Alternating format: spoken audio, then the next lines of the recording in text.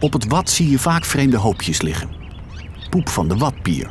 Zogenaamd pseudopoep, want het is alleen zand. Er leven soms wel meer dan 50 pieren in één vierkante meter watbodem. De biodiversiteit is dus niet heel hoog, maar de biomassaliteit juist wel. Er leven weinig soorten, maar in grote aantallen. De watpier heeft zich aangepast aan het waddengebied door in de bodem te leven. Wist je dat deze worm kieuwen heeft die aan de buitenkant van zijn lijf zitten?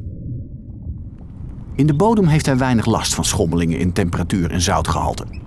En minstens zo belangrijk, hier is de kans kleiner om te worden opgegeten. Hij graaft een diepe U-vormige buis de bodem in.